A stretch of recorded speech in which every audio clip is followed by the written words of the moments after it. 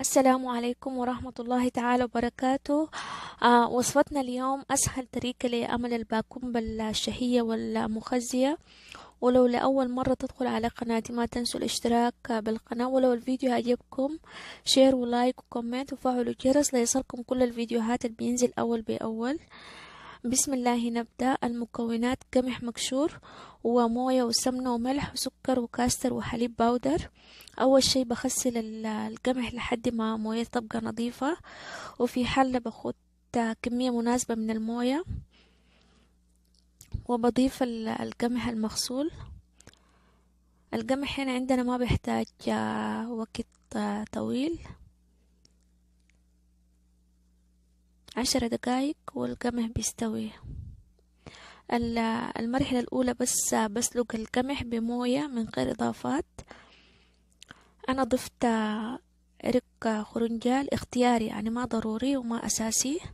الخيار لكم المرحلة الثانية إضافة الحليب ال powder وال custard والسكر والملح.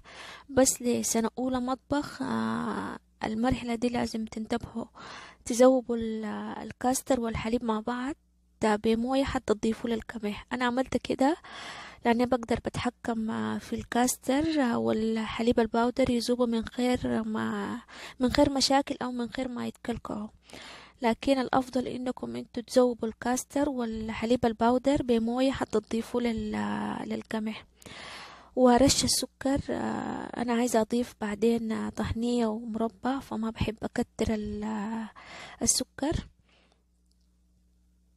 زي ما شايفين يعني لو ما عملتوا حسابكم حيتكلكع معاكم بس أنا بقدر أتحكم في الكاستر والحليب ال powder. فضروري جدا أنتوا تعملوه بالطريقة اللي قلت لكم تذوبوه في الأول بالموية وبعدين تضيفوا للقمح ورشة ملح.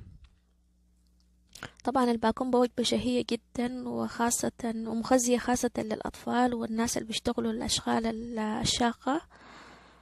ودي أسهل طريقة في ربع ساعة ممكن يتعمل طبعا حلوة بالسمنة البلدية.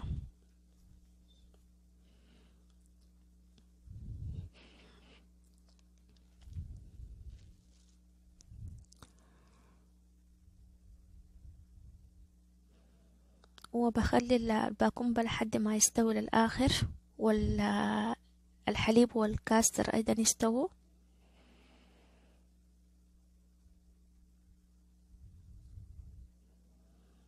ممكن تتحكموا في القوام أو في الكثافة بتاعت الكاستر.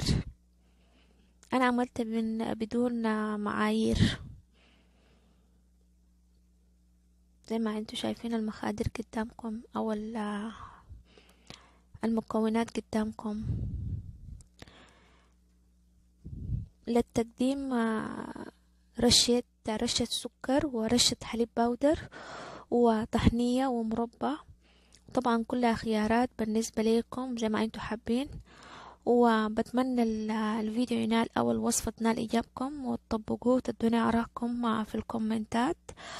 وما تنسوا ال like وال share.